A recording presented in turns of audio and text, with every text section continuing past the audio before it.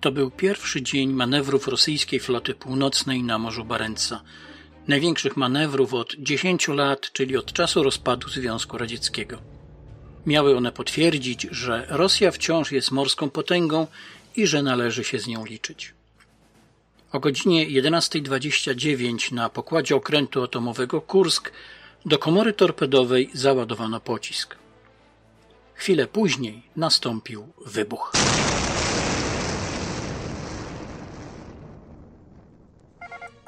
Katastrofy morskie.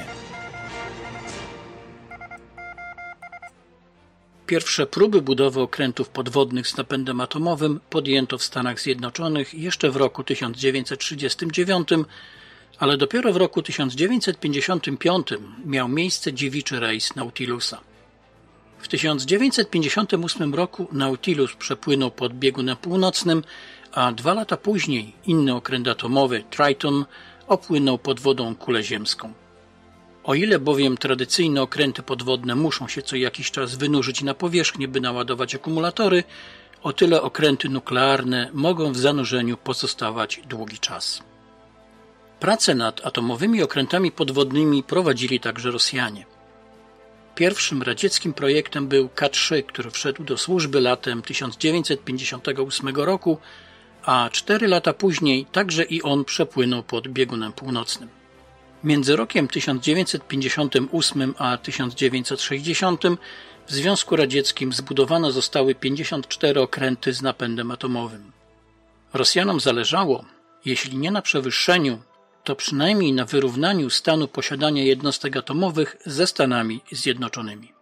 W latach 60. i 70. XX wieku w Związku Radzieckim opracowano i zwodowano 142 okręty z napędem atomowym. W ostatnich latach jego istnienia do służby weszły największe ówczesne okręty. Typhoon, a także Sierra, Aqua i Oscar, a po jego rozpadzie Granny oraz Borei.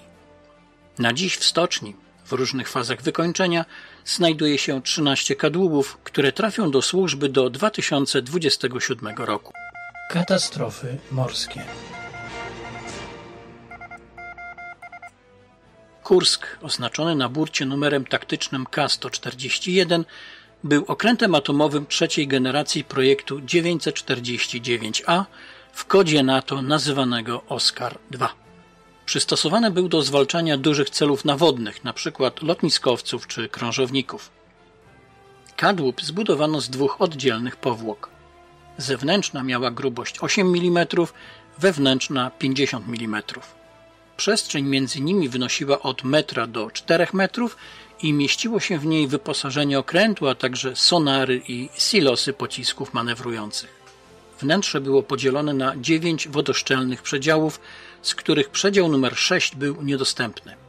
Przejść go można było tylko korytarzem, który zatrzymywał promieniowanie radioaktywne. Znajdowały się w nim bowiem dwa reaktory o mocy 100 tysięcy koni mechanicznych. Zewnętrzny kadłub pokryty był warstwą specjalnej gumy, która tłumiła odgłosy z wnętrza, a także rozpraszała wiązkę sonarów przeciwnika.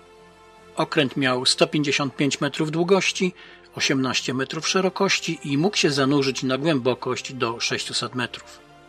Na powierzchni mógł pływać z prędkością 16 węzłów, czyli 30 km na godzinę, pod wodą dwa razy szybciej. Oprócz klasycznego uzbrojenia torpedowego wyposażony był w rakiety woda-woda o zasięgu 550 km. Wyposażeniem ratunkowym Kurska była specjalna kapsuła umieszczona w rejonie przedziału numer 3, mieszcząca całą załogę i pozwalająca na opuszczenie okrętu znajdującego się na dnie. Dodatkowo na dziobie i rufie znajdowały się awaryjne włazy, do których mogły cumować podwodne pojazdy ratunkowe. Kursk uważany był jednak za okręt niezatapialny, który mógł oprzeć się nawet wybuchowi torpedy. Budowa okrętu ukończono w maju 1994 roku i po kilku miesiącach prac wyposażeniowych został wcielony do rosyjskiej floty północnej, która jest największym i najsilniejszym morskim związkiem taktycznym marynarki wojennej Federacji Rosyjskiej. Stacjonował w bazie polarnej leżącej 35 km na północ od Murmańska nad Zatoką Kolską. Katastrofy morskie. Schyłek lat 90. to okres rozpadu Związku Radzieckiego. W kraju panował wówczas kryzys gospodarczy, zamęt i niepokoje społeczne. Brakowało pieniędzy na utrzymanie floty, masowo pozbywano się okrętów, następowała redukcja kadr, a okręty rzadko wychodziły w morze. Przeciętnie na mniej więcej dwa tygodnie w roku. Z tego właśnie powodu próby stoczniowe Kurska połączono z okrojonymi próbami państwowymi.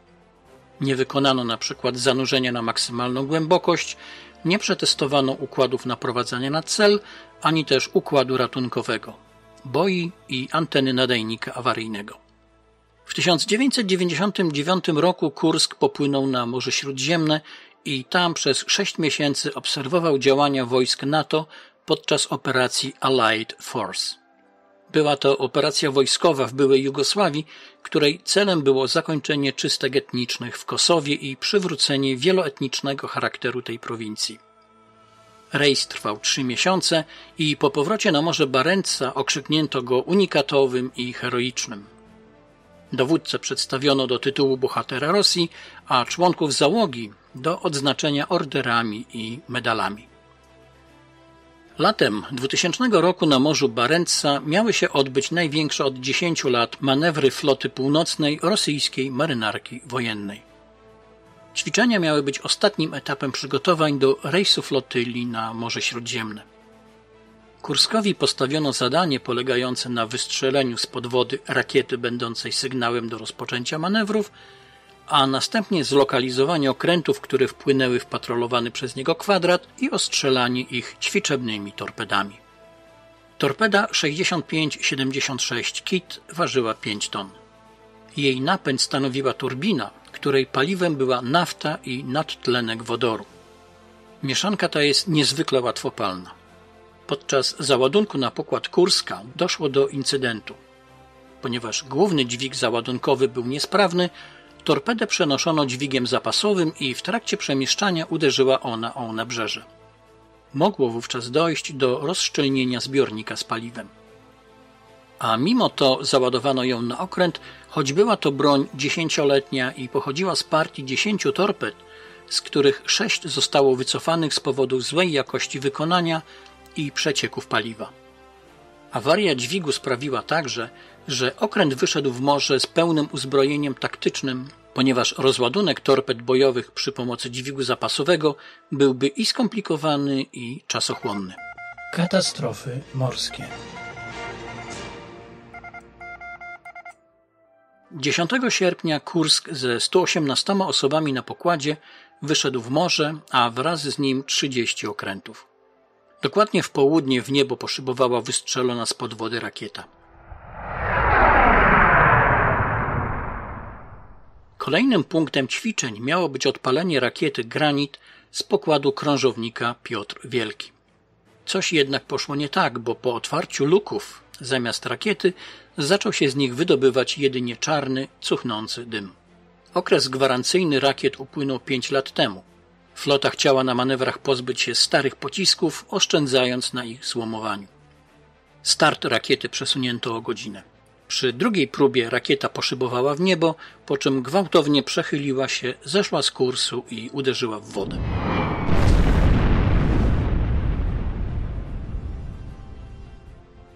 Tego samego dnia miano jeszcze testować system uzbrojenia zwany wodospad. Torpedy rakietowe wystrzeliwane są najpierw do wody i dopiero potem startują, by nie zatruć załogi na pokładzie.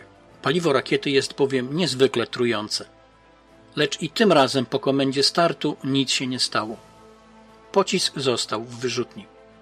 Ktoś zaczął dłubać łomem we wnętrzu i po chwili rakieta leniwie zsunęła się do wody. W taki sposób minął pierwszy dzień ćwiczeń. Manewry na Morzu Barentsa i misja kurska były śledzone przez co najmniej trzy zachodnie okręty podwodne. Amerykańskie Memphis i Toledo oraz brytyjski Splendid, a także statki szpiegowskie, amerykański Loyal i norweski Mariata. Katastrofy morskie. Następnego dnia o 8.51 Kursk otrzymał rozkaz, by w kierunku krążownika Piotr Wielki odpalić ćwiczebną torpedę, a następnie wrócić do bazy. Według niepotwierdzonych danych około godziny 11 miało mieć miejsce jeszcze jedno alarmowe połączenie radiowe Kurska z dowództwem. Kapitan jednostki, Gennady Lachin, meldował o uszkodzeniu torpedy i pytał, co ma robić. Prosił także o pozwolenie na jej odpalenie. Sztab jednak zwlekał z odpowiedzią. Okręt zanurzył się na głębokość peryskopową i z prędkością ośmiu węzłów oraz rozwiniętą anteną poszukiwał celu dla swoich torped. Piotr Wielki znajdował się wówczas około 30 mil na północny zachód od Kurska. O 11.29 załoga załadowała do wyrzutni numer 4 pierwszą nieuzbrojoną w głowicę torpedę ćwiczebną 65 kit, żargonowo zwaną tołstuszka, czyli grubaska.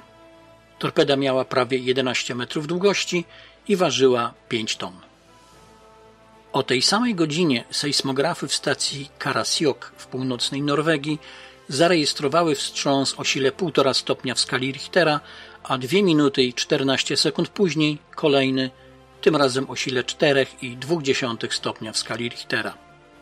Drugi wstrząs był 250 razy silniejszy niż pierwszy i został zarejestrowany nie tylko w całej Europie, ale nawet na Alasce. Był on równoważny wybuchowi od 2 do 3 ton trotylu. Katastrofy morskie. Karelia, podwodny okręt o napędzie atomowym, który także brał udział w manewrach, zarejestrował wybuch. Kapitan sądził jednak, że był to element ćwiczeń.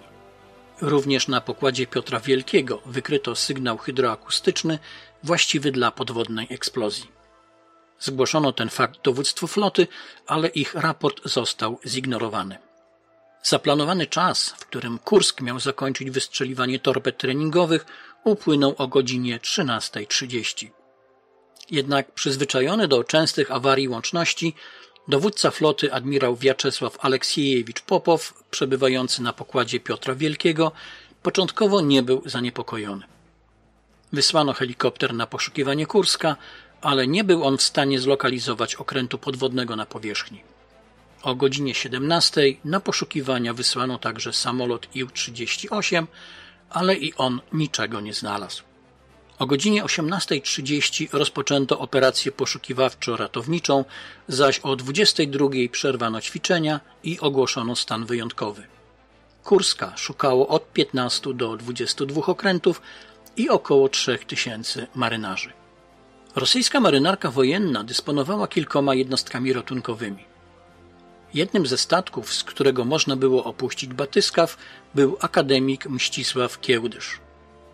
To na jego pokładzie James Cameron nakręcił w Titanicu scenę, gdy Rose wyrzuca naszyjnik za burtę. Pojazdy podwodne statku wykorzystywano do zdjęć w filmach Bismarck, Obcy z Głębin i Japońska Łódź Podwodna 1.52. Akademik Kiełdysz znajdował się jednak kilka tysięcy mil od Morza Barenca, gdzieś w okolicach Nowej Fundlandii i woził dewizowych turystów do wraku Titanica. Dwa ratunkowe okręty podwodne klasy India od sześciu lat oczekiwały na remont w petersburskiej stoczni. Jedyną jednostką gotową do akcji ratunkowej był przerobiony ze starego, dwudziestoletniego drewnowca Michał Rudnicki. Statek nie posiadał jednak stabilizatorów kołysania i będące na wyposażeniu pojazdy ratownictwa głębinowego AS-32 i AS-34 mogły zostać użyte tylko na spokojnym morzu. Stan techniczny statku, podobnie jak i batyskafów, był bardzo zły. Nad ranem 13 sierpnia załoga okrętu Piotr Wielki odkryła na dnie morza dwie anomalie, które mogły być wrakiem Kurska. Kilka godzin później przybył w to miejsce Michał Rudnicki i wczesnym popołudniem pojazd AS-34 zszedł pod wodę. To jego załoga jako pierwsza na głębokości 100 metrów w świetle reflektorów dostrzegła śrubę napędową Kurska i statecznik pionowy. Podczas manewrów batyskaw uderzył w sterokrętu podwodnego i musiał się wynurzyć. Pod wodę zszedł drugi z batyskafów AS-32, ale z powodu błędów nawigacyjnych nie odnalazł wraku. Następnego dnia na miejsce dotarł holownik ratowniczy Nikołaj Hiker i przy pomocy aparatury głębinowej wykonał pierwsze zdjęcia Kurska. przedstawiały one poważne uszkodzenia dziobu okrętu, który leżał na głębokości 108 metrów, przechylony na burtę pod kątem 25 stopni i skierowany dziobem w dół o kąt 5 do 7 stopni. Nazajutrz o godzinie 5 rano naprawiony AS-34 zszedł ponownie pod wodę. Udało mu się zlokalizować Kursk, ale bezskutecznie próbował przyczepić się do tylnego luku ratunkowego nad dziewiątym przedziałem. Jego baterie szybko się wyczerpały, a załoga została zmuszona do wypłynięcia na powierzchnię. Na pokładzie Michaiła Rudnickiego brak było zapasowych akumulatorów, więc załoga musiała czekać, aż akumulatory zostaną naładowane. Jeszcze wielokrotnie na pokład Kurska opuszczano pojazd podwodny, ale nigdy nie udało mu się podczepić pod ratunkowy. Tymczasem prędkość wiatru wzrosła do 6-8 stopni Boforta, zmuszając Rosjan do zawieszenia akcji ratowniczej. Katastrofy morskie. W dniu, w którym doszło do wybuchu na pokładzie Kurska, dowództwo NATO było już pewne, który z okrętów podwodnych uległ awarii. Zanim w niedzielny poranek 13 sierpnia prezydent Władimir Putin został przez ministra obrony Igora Siergiejewa poinformowany o zatonięciu okrętu, wiedzieli już o tym doradca do spraw bezpieczeństwa narodowego USA Sandy Berger i sekretarz obrony William Cohen. Przekazali te informacje rządom Wielkiej Brytanii, Francji, Niemiec, Izraela, Włoch oraz Norwegii i zaoferowali pomoc. Stany Zjednoczone skłonne były użyć jednego z dwóch pojazdów ratowniczych, mogących zejść na bardzo duże głębokości, ale rosyjski rząd odmówił wszelkiej pomocy zagranicznej, twierdząc, że akcja ratunkowa jest w toku. Pod naciskiem rosyjskich mediów, pięć dni po wypadku, prezydent Putin przyjął jednak propozycję pomocy ze strony rządu norweskiego i brytyjskiego. W rejon katastrofy dotarł norweski Normand Pioneer z brytyjskim wojskowym batyskafem LR-5 na pokładzie oraz sześcioma zespołami norweskich i brytyjskich nurków. Ze strony rosyjskiej brali także udział nurkowie z 328 ekspedycyjnego oddziału ratowniczego, będącego częścią biura poszukiwawczo-ratowniczego marynarki wojennej. Pierwsze zdjęcia ze zdalnie sterowanego pojazdu pokazały, że w dziobie znajduje się ogromna wyrwa, a pierwszych 18 metrów kadłuba od dziobu aż do kiosku stanowi rumowisko stali. Próby dostania się do środka przez zawór doprowadzający powietrze spełzły na niczym.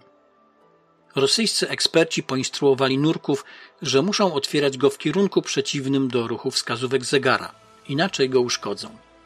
Udało się go otworzyć tylko dlatego, że ratownicy w końcu postąpili wbrew radom ekspertów i obrócili go w stronę przeciwną. Przedział był zalany wodą. Opuszczona do wnętrza kamera sfilmowała jedynie kilka ciał. Norwescy nurkowie wycięli dziury w kadłubie, ale do wnętrza wraku weszli tylko Rosjanie. Kurz i popiół wewnątrz przedziału dziewiątego poważnie ograniczały widoczność. Jednym z pierwszych ciał, na jakie się natknięto, były szczątki kapitana porucznika Dmitrija Kolesnikowa. Wszyscy mężczyźni w przedziale numer 9 byli poparzeni. Nurkowie rosyjscy zabrali z wnętrza wraku tajne dokumenty oraz dziennik okrętowy i wydobyli 12 ciał. Ekipy ratownicze prowadziły bieżące pomiary poziomu promieniowania radioaktywnego, zarówno wewnątrz, jak i na zewnątrz, ale nie przekroczyły one normalnych zakresów. Planowano wydobycie kolejnych ciał, ale na przeszkodzie stanęła pogarszająca się pogoda oraz stanowisko rodzin marynarzy, które nie chciały, aby czyjeś życie było narażone na ryzyko przy penetracji wraku. Katastrofy morskie. Dzień po katastrofie w bazie marynarki wojennej Widiajewo wśród rodzin marynarzy z Kurska zaczęły krążyć pogłoski, że okręt ma jakiś problem. Ponieważ baza jest bardzo mała, skąpe wiadomości przemieszane z plotkami szybko się rozchodziły. Wszyscy chcieli wierzyć, że okręt miał jedynie chwilowe kłopoty z komunikacją. Od momentu katastrofy prezydent Putin był informowany przez wojsko, że sytuacja jest pod kontrolą i że nie musi interweniować. Powiedziano mu, że istnieje duże prawdopodobieństwo, że wypadek spowodowała wroga jednostka i że Rosja nie powinna przyjmować pomocy od obcych mocarstw. Podczas gdy ekipy ratownicze wielokrotnie próbowały dostać się do wnętrza okrętu podwodnego lub skontaktować z załogą, publiczna telewizja pokazywała Putina, który bawił się na wakacjach. Brytyjski dziennik The Guardian napisał: 24 godziny po zatonięciu okrętu podwodnego, gdy dowódcy marynarki wojennej oceniali szanse 118 mężczyzn na pokładzie, Putin został sfilmowany jak bawił się z podwiniętymi rękawami, organizując grilla w swojej wakacyjnej willi nad Morzem Czarnym. W mediach na całym świecie pokazywano zdjęcia rozgniewanych członków rodzin domagających się informacji lub czekających z niepokojem w dokach na wiadomości. Niektórzy krewni dowiedzieli się o katastrofie dopiero z mediów publicznych lub ze sprzecznych plotek krążących w bazie marynarki wojennej. Niektórzy nie byli nawet w stanie ustalić, czy członkowie ich rodzin byli wśród załogi na pokładzie Kurska, ponieważ odmówiono udostępniania listy zaginionych marynarzy nawet ich rodzinom. We wtorek 22 sierpnia, 10 dni po zatonięciu, Putin spotkał się w klubie oficerskim w Diajewie z mieszkańcami bazy i członkami rodzin załogi Kurska. Spotkanie, które trwało kilka godzin, miało charakter zamknięty, a dostęp był ściśle kontrolowany. Dwóch rosyjskich dziennikarzy, którzy podawali się za członków rodziny, było świadkami rozpaczy wdów i matek domagających się wyjaśnienia, dlaczego otrzymywali tak wiele sprzecznych informacji i kto zostanie ukarany za śmierć członków ich rodzin. Ludzie wołali: Czy wierzysz, że nasi ludzie wciąż żyją? Dlaczego zamordowałeś naszych chłopców? Kiedy ciała z okrętu podwodnego zostaną sprowadzone do domu? Kiedy odzyskamy ich żywych lub martwych? Kogo i jak zamierzasz ukarać za ich śmierć? Jedynym medium, które dostało akredytację na spotkanie, była rosyjska państwowa telewizja RTR. Ich mocno okrojona transmisja rejestrowana pojedynczą kamerą koncentrowała się głównie na prezydencie, sporadycznie tylko pokazując emocje zgromadzonych. Tylko dzięki temu, że Rosjanie wypożyczyli wóz transmisyjny od telewizji RTL, świat mógł zobaczyć prawdziwe ujęcia ze spotkania. A te były szokujące. Matka porucznika Siergieja Tylika, Nadjeżda, krzyczała do Putina i wicepremiera Klebanowa. Zdejmijcie pagony. Lepiej zastrzelcie się już teraz. Nie pozwolimy wam żyć, dranie. A gdy nie chciała milczeć, została otoczona przez wojskowych, a pielęgniarka w cywilnym ubraniu siłą wstrzyknęła jej przez ubranie środek uspokajający. Szybko straciła przytomność i została wyniesiona. Cała scena została uchwycona przez ekipę telewizyjną, ale nie była transmitowana w Rosji. Społeczność międzynarodowa była zszokowana tym incydentem i obawiano się, że Rosja wraca do metod tłumienia społecznego sprzeciwu z czasów zimnej wojny. Nadjeżda Tylik powiedziała także, że jej syn na sześć dni przed katastrofą stwierdził, że Kursk ma śmierć na pokładzie, ale nie wyjaśnił, co miał na myśli. Dodała: Jestem pewna, że dowódcy floty północnej wiedzieli, że torpedy nie były w porządku. Winni muszą zostać ukarani. Na spotkaniu prezydent Putin obiecał rodzinom ofiar, które do tej pory dostały odszkodowanie w wysokości około 37 dolarów, dodatkowe odszkodowanie równoważne dziesięcioletniej pensji, czyli około 7 tysięcy dolarów, a także przydział na mieszkanie w dowolnym mieście w Rosji i bezpłatne studia dla dzieci. Był to bezprecedensowy fakt, ponieważ dotąd rosyjski rząd nie wypłacał jakichkolwiek odszkodowań rodzinom zabitych żołnierzy. Dowódca Kurska, kapitan Gennady Lacin, otrzymał tytuł bohatera Federacji Rosyjskiej za odwagę i bohaterstwo w wykonywaniu obowiązków służbowych, a 117 pozostałych członków załogi odznaczono orderami za odwagę. Katastrofy morskie. Wydarzeń na pokładzie Kurska w chwili wybuchu możemy się tylko domyślać. Wiadomo jedynie, że katastrofę przeżyło 23 marynarzy w przedziale siódmym, dowodzonym przez Dmitrija Kolesnikowa. Swą szansę na ocalenie widzieli w przedostaniu się na rufę do sekcji dziewiątej, w której znajdował się właz ewakuacyjny. Pierwsza eksplozja zabiła siedmiu marynarzy w przedziale numer jeden oraz 36 na stanowisku dowodzenia w przedziale drugim. Najprawdopodobniej ogień i trujący dym dotarły także do sekcji trzeciej i czwartej. Reaktory znajdujące się w sekcji szóstej nie zostały uszkodzone, ale automatycznie zostały odłączone w chwili wybuchu. Dwie minuty i czternaście sekund później nastąpił drugi, o wiele silniejszy wybuch. W każdej sekcji są kombinezony dla wszystkich marynarzy, którzy służą w niej w stanie gotowości bojowej. Każdy, kto przechodzi z jednej sekcji do drugiej, musi zabrać ze sobą swój skafander. Do tego dwie butle z gazem, jedną z tlenem, drugą z mieszanką azotowo-tlenową. Obie, albo przynajmniej jedną z nich, wychodzący na zewnątrz okrętu zakłada na brzuch, ponieważ w ten sposób może łatwiej regulować dopływ gazu. Pozwalają one opuścić okręt podwodny leżący na głębokości do 100 metrów.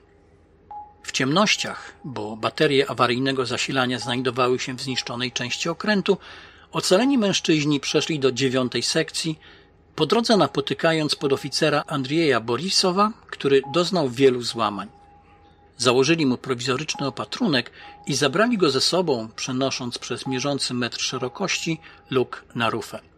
Tymczasem woda we wnętrzu kadłuba wciąż się podnosiła. W dziewiątym przedziale znaleziono pewną ilość świateł awaryjnych, które najwyraźniej działały. Kolesnikow napisał dwie notatki, których fragmenty zostały po raz pierwszy udostępnione mediom przez wiceadmirała Motsaka. Pierwsza została napisana godzinę i 45 minut po drugiej eksplozji i zawierała prywatną notatkę do rodziny, na odwrocie zaś informacje o sytuacji na okręcie i nazwiska osób w dziewiątym przedziale. Pismo wydaje się normalne, co wskazuje, że marynarze wciąż mieli trochę światła. Jest 13.15. Cały personel z sekcji 6, 7 i 8 przeniósł się do sekcji 9. Są tu 23 osoby. Źle się czujemy, jesteśmy osłabieni dwutlenkiem węgla. Ciśnienie w komorze wzrasta. Jeśli wypłyniemy na powierzchnię, nie przetrwamy kompresji. Nie wytrzymamy dłużej niż jeden dzień. Drugą notatkę Kolesnikow napisał dwie godziny później. Jego pismo jest niezwykle trudne do odczytania. Ciemno tu pisać, ale spróbuję na wyczucie. Wydaje się, że mamy 10-20% szans. Miejmy nadzieję, że przynajmniej ktoś to przeczyta. Oto lista personelu z innych sekcji, którzy są teraz w dziewiątym i będą próbowali się wydostać. Pozdrawiam wszystkich. Nie ma co rozpaczać. Kolesnikow. 26 lutego 2001 roku gazeta Izwiestia donosiła, że znaleziono także inną notatkę napisaną przez porucznika komandora Rashida Ariapowa. Została ona napisana na stronie powieści kryminalnej i owinięta w folię. W notatce była mowa o tym, że eksplozja była spowodowana błędami w przedziale torpedowym i wybuchem torpedy, na której Kursk miał przeprowadzać testy. Ariapow napisał także, że w wyniku eksplozji okręt podwodny został gwałtownie podrzucony, a wielu członków załogi zostało rannych przez sprzęty, które się wówczas obluzowały. Katastrofy morskie. Leżący na dnie morza na głębokości zaledwie 108 metrów wrak stał się problemem zarówno dla Norwegów, jak i Rosjan. Ci pierwsi bali się skażenia radioaktywnego, ci drudzy wykradzenia tajemnic wojskowych, tak jak miało to miejsce w przypadku zatopionego kilkadziesiąt lat wcześniej na Pacyfiku okrętu K-129. Dziewięć miesięcy po katastrofie z dwiema holenderskimi firmami ratownictwa morskiego Rosjanie podpisali umowę na podniesienie Kurska. Warunkiem było odcięcie i pozostawienie na dnie części dziobowej okrętu, w której mogły się jeszcze znajdować sprawne torpedy. Operacja odcinania dziobu przy pomocy piły ściernej z węglika wolframu trwała 10 dni. Dopiero wówczas można było przystąpić do podnoszenia głównej części kadłuba. Do tego celu wykorzystano specjalny statek dokujący przystosowany do przewozu ogromnych ładunków, np. platform wiertniczych. W ciągu 15-godzinnej akcji Kursk został podwieszony pod kadłubem barki na linach i w ten sposób odbył swą ostatnią podróż do stoczni w Murmańsku. Część dziobowa okrętu została na dnie morza rozsadzona materiałami wybuchowymi. Cała operacja podniesienia Kurska kosztowała około 130 milionów amerykańskich dolarów i była dwukrotnie wyższa od rocznego budżetu rosyjskiej marynarki wojennej. Katastrofy morskie. Oficjalną informację o zatonięciu Kurska podano dopiero w poniedziałek 14 sierpnia. Media przekazały, że okręt poprzedniego dnia miał drobne trudności techniczne, ale zszedł na dno oceanu, a dowództwo miało kontakt z załogą. Ratownicy dostarczają na Kursk powietrze i energię, a wszyscy marynarze na pokładzie żyją. Jedna z przekazywanych informacji brzmiała, że wyraźnie słyszano wystukiwane alfabetem Morsa SOS woda. Był to oczywiście zmyślony fakt, ponieważ Kursk miał podwójny, doskonale wytłumiony kadłub i stukanie w wewnętrzną powłokę nic by nie dało. Gdy norwescy nurkowie potwierdzili, że w dziewiątym przedziale nikt nie żyje, szef sztabu rosyjskiej floty północnej ogłosił opinii publicznej, że Kursk został zalany, a wszyscy członkowie jego załogi zginęli. Kilka dni później dowódca floty północnej Popow i jego szef sztabu Motsak udzielili wywiadu hiszpańskiej gazecie El Mundo, w której dowodzili, że Kursk zderzył się z okrętem podwodnym NATO śledzącym ćwiczenia. Tezę tę potwierdził admirał Kurojedow, który stwierdził, że w 80% jest pewien, że przyczyną wypadku była kolizja. Jako dowód przedstawił nagranie z wraku oraz zdjęcia satelitarne amerykańskiego okrętu podwodnego Memphis, zadokowanego w norweskiej bazie morskiej w Bergen. Ich autentyczność nigdy jednak nie została udowodniona. Dwa lata od katastrofy prokurator generalny Ustinow opublikował ściśle tajny raport o wypadku zawarty w 133 tomach akt. Na jego podstawie rosyjska gazeta opublikowała czterostronicowe podsumowanie wniosków z prac komisji, która ujawniła oszałamiające naruszenia dyscypliny, tandetny, przestarzały i źle utrzymany sprzęt oraz niedbałość, niekompetencję i złe zarządzanie flotą. W raporcie stwierdzono także, że akcja ratunkowa została bezpodstawnie opóźniona. Raport mówił też o innych przyczynach. Przez przegrodę między pierwszym i drugim przedziałem przechodził okrągły kanał klimatyzacyjny o średnicy 47 cm. Przegroda powinna była zatrzymać falę uderzeniową, ale zgodnie z powszechną praktyką rosyjskich okrętów podwodnych, zawór ciśnieniowy w systemie wentylacyjnym pozostawiono otwarty. Pierwszy wybuch wywołał pożar, którego temperaturę oszacowano na 2700 stopni Celsjusza.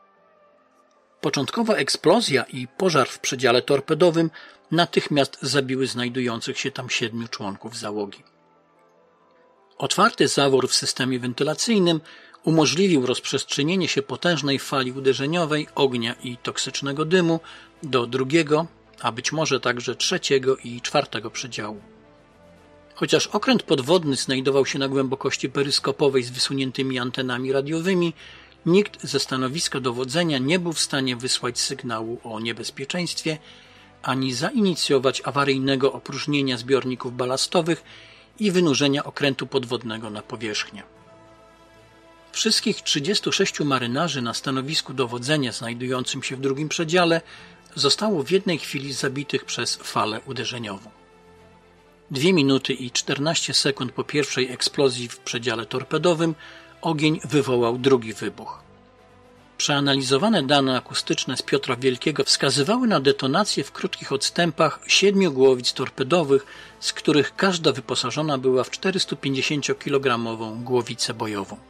Eksplozja wyrwała dziurę o powierzchni około 2 metrów kwadratowych, otwierając pierwsze cztery przedziały, a woda wlewała się do wnętrza kadłuba z prędkością 90 tysięcy litrów na sekundę. Oprócz załogi w tych przedziałach znajdowało się pięciu oficerów z dowództwa dywizji i dwóch inżynierów konstruktorów, którzy mieli obserwować działanie nowej torpedy USET-80. Miała ona zostać wystrzelona jako druga. Każdy, kto pozostał przy życiu w tych przedziałach po pierwszym wybuchu, został zabity przez drugą eksplozję. Raport rządowy potwierdził, że Kursk został zatopiony w wyniku eksplozji, gdy stężony nadtlenek wodoru wyciekł z pęknięć w obudowie torpedy. Paliwo stosowane w rosyjskich torpedach było tanie i bardzo wydajne. Tlen łączył się z naftą w silniku i tak napędzane pociski miały większą prędkość i większy zasięg niż torpedy konwencjonalne. Nadtlenek wodoru jest związkiem bardzo stabilnym do chwili, dopóki nie wejdzie w kontakt z katalizatorem. Wówczas bardzo szybko rozszerza swoją objętość 5000 razy, działając jako utleniacz i generując duże ilości tlenu i pary wodnej. Torpedy z takim napędem były stosowane już od lat 50., ale większość flot przestała ich używać ze względu na niebezpieczeństwa związane z ich konstrukcją. Śledczy doszli do wniosku, że przeciekający nadtlenek wodoru uległ katalitycznemu rozkładowi, gdy wszedł w kontakt z miedzią zawartą w brązie i mosiądzu, których użyto do produkcji wyrzutni torpedowych. Procesu rozkładu nie da się zatrzymać, dopóki paliwo nie zostanie wyczerpane. Około jednej tony skoncentrowanego nadtlenku wodoru rozerwało zbiornik paliwa torpedy i spowodowało eksplozję równoważną wybuchowi od 100 do 250 kg trotylu, która oderwała wewnętrzną pokrywę wyrzutni torpedowej i zewnętrzne drzwi wyrzutni. Personel, który w porcie ładował torpedy ćwiczebne dzień przed manewrami, zauważył, że z gumowych uszczelek wycieka paliwo i powiadomił o tym młodszych oficerów, ale ci nie podjęli żadnych działań. Zapisy konserwacyjne wykazały, że torpeda ćwiczebna 65-76 KIT, znajdująca się na pokładzie Kurska, pochodziła z partii 10 sztuk wyprodukowanych w roku 1990, z których 6 zostało odrzuconych z powodu wadliwego spawania. Dochodzenie wykazało, że ponieważ torpedy nie były przeznaczone do przenoszenia głowic, spawy nie zostały sprawdzone tak dokładnie jak spawy torped z głowicami bojowymi. W przedziale piątym znajdowały się reaktory jądrowe i sprzęt, który automatycznie rejestrował aktywność operacyjną okrętu. Specjaliści z Petersburskiego Centrum Technologii Mowy przeanalizowali 22 nagrania i odkryli, że w dniu wypadku system został ręcznie wyłączony. Kursk został wyposażony w boję ratunkową znajdującą się na pokładzie nad przedziałem numer 7. Została ona zaprojektowana tak, aby automatycznie uruchamiała się po wykryciu jednego z różnych warunków awaryjnych, np. pożaru lub gwałtownej zmiany ciśnienia. Jej zadaniem było wypłynąć na powierzchnię i wysłać sygnał, który pomógłby ratownikom zlokalizować uszkodzony okręt. Raport mówił, że boja wielokrotnie ulegała awarii i została na stałe przyspawana do kadłuba. Zostało to zrobione rok wcześniej podczas pobytu Kurska na Morzu Śródziemnym w obawie przed przypadkowym zadziałaniem, które mogłoby ujawnić pozycję okrętu podwodnego flocie amerykańskiej. Mimo wielu uchybień w procedurach i sprzęcie, prokurator Ustinow nie postawił nikomu żadnych zarzutów. Ponieważ katastrofa była spowodowana usterką techniczną, nie można było obarczyć winą konkretnych osób. Potwierdził, że wszyscy marynarze zginęli w ciągu 8 godzin i żadnego z nich nie udałoby się uratować w dostępnym czasie. Na konferencji prasowej ogłaszającej zakończenie oficjalnego śledztwa zwolnił producenta torped z wszelkiej odpowiedzialności za usterki. Katastrofy morskie.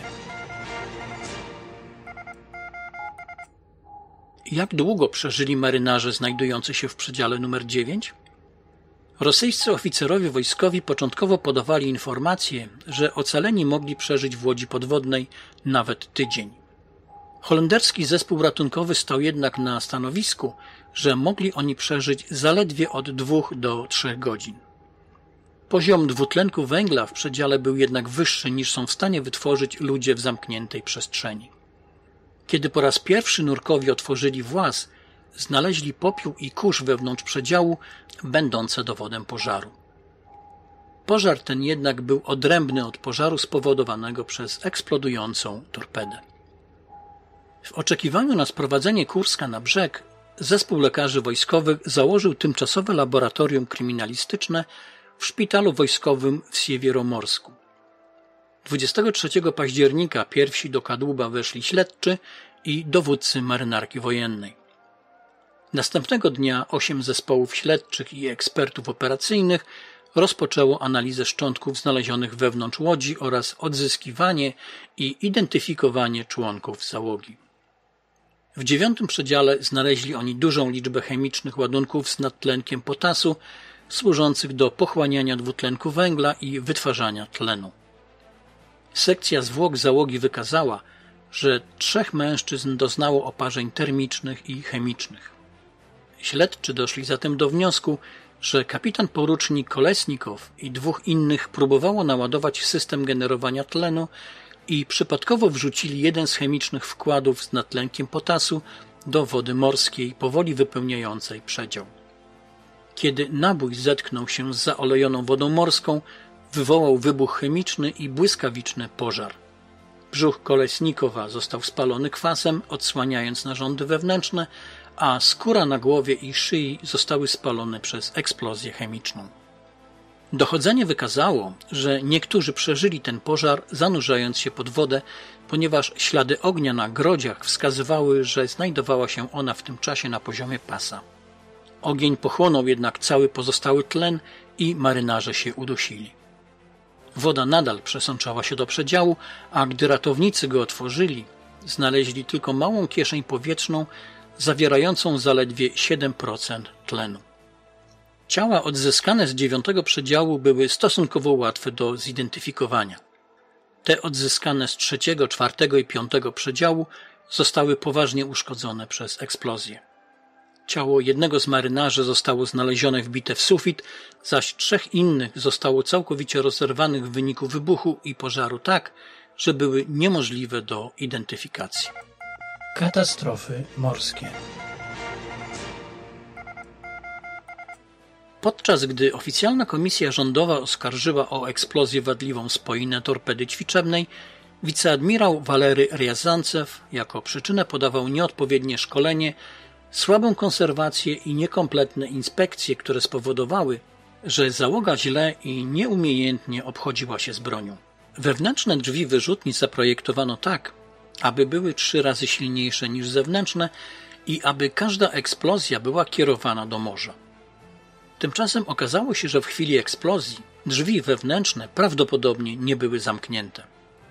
Złącza elektryczne między torpedami a wewnętrznymi drzwiami wyrzutni były znane jako zawodne i często wymagały od załóg torpedowych otwierania i ponownego ich zamykania w celu oczyszczenia połączenia elektrycznego. Załoga kurska nie wystrzeliła torpedy od trzech lat, a ta, która była wystrzelona, była znacznie prostszym typem zasilanym z baterii. Nigdy nie szkolono i nie sprawdzono kwalifikacji załogi do odpalenia torped zasilanych niebezpiecznym nadtlenkiem wodoru. Podpisy na aktach dokumentujących szkolenie marynarzy w obsłudze i strzelaniu z takich torped zostały sfałszowane. Katastrofy morskie.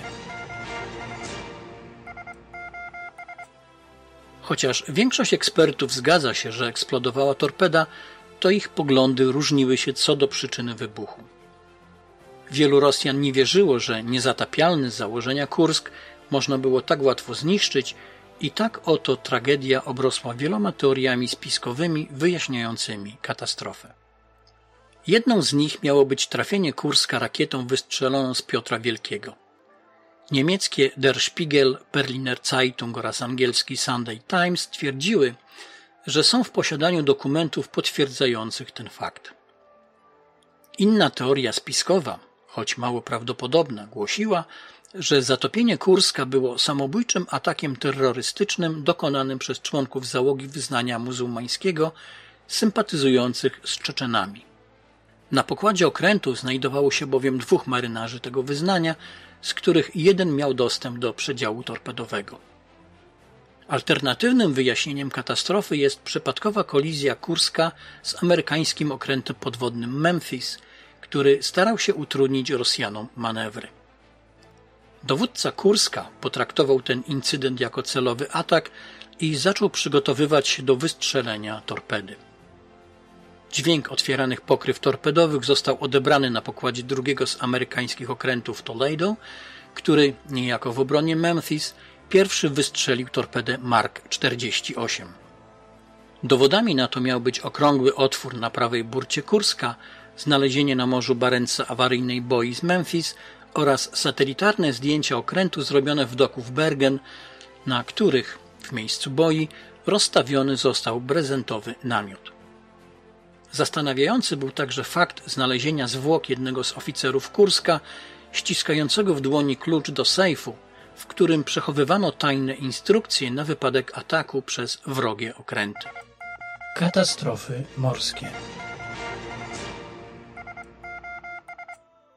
Na wydmach w okolicach Siewierodwińska, w którym wybudowano Kursk, wzniesiono dużą granitową płytę.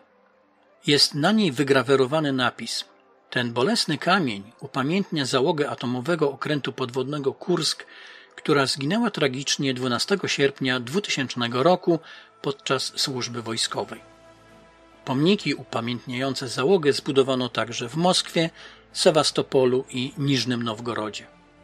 Na cmentarzu serafimowskim w Sankt Petersburgu w miejscu pochówku 32 marynarzy wzniesiono pomnik, a miasto Kursk, od którego pochodziła nazwa okrętu, wzniosło pomnik z fragmentów jego kadłuba.